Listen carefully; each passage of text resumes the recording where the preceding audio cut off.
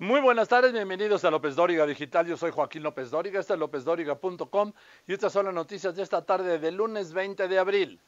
Desplome histórico de los precios internacionales del petróleo. Se fueron al fondo. El barril de crudo estadounidense del West Texas llegó a costar este mediodía menos de un dólar por barril. Después subió hasta los cinco dólares y medio. Menos de un dólar por barril. Viene un desastre petrolero y va a pegar a México en la línea de flotación de Pemex y del presupuesto. Empiezan los problemas de saturación en algunos hospitales del Valle de México, donde se espera el mayor número de contagios. La jefa de gobierno, Claudia Sheinbaum, reveló que el Instituto Nacional de Enfermedades Respiratorias, que es un instituto nacional, es federal, está saturado de casos de COVID. Señaló que en todos los hospitales de la Ciudad de México ya hay 524 contagiados graves.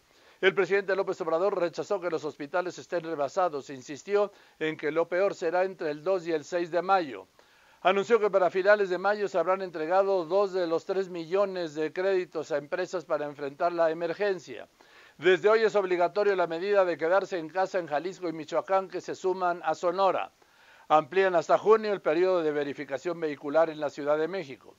Morena y sus aliados alistan a aprobar en el Senado la ley de amnistía. El bloque opositor no se presentó. Solo beneficiará a reos federales, que son 14 mil de los 250 mil que hay en México, y en realidad alcanzará a cerca de 1.500 a, a beneficiarlos, ¿sí? a sacarlos de la cárcel. Ayer fue el día más violento del año se cometieron 105, 105 homicidios dolosos eh, de acuerdo con el propio gobierno federal, esto es uno cada 15 minutos durante las 24 horas del día.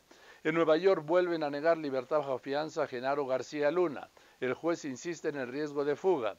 La Organización Mundial de la Salud advierte, lo peor está por venir por la pandemia, que no se olvide esto. En este momento el dólar interbancario se cotiza en 24 pesos 5 centavos y en ventanillas en México se está vendiendo en 24.33. Yo soy Joaquín López Dóriga, este es lópezdóriga.com y usted está informado. Gracias.